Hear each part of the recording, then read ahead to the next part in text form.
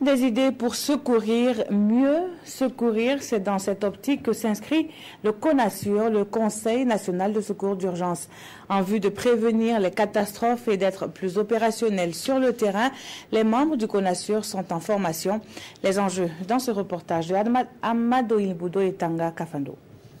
Il vaut toujours mieux de prévenir les catastrophes quand on peut et si malgré tout elles surviennent, il faut savoir les gérer.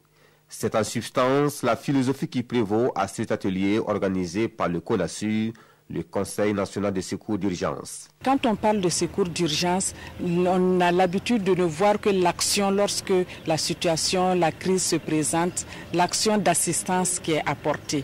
Mais il faut avoir une lecture en trois phases, c'est-à-dire il faut préparer pour éviter la survenue des catastrophes.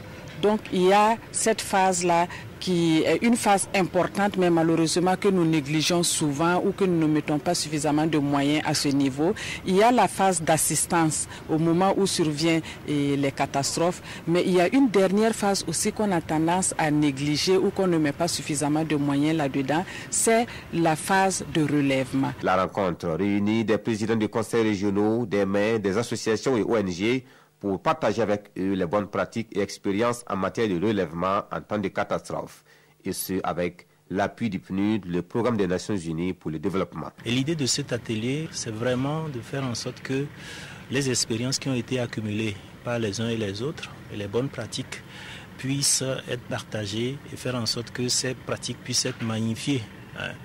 Et le but, c'est que finalement, on puisse aider les populations à mieux s'en sortir. Au Burkina Faso, les inondations constituent les catastrophes les plus récurrentes. À cela s'ajoutent les attaques terroristes ces dernières années, des situations sur lesquelles va se focaliser la réflexion des participants.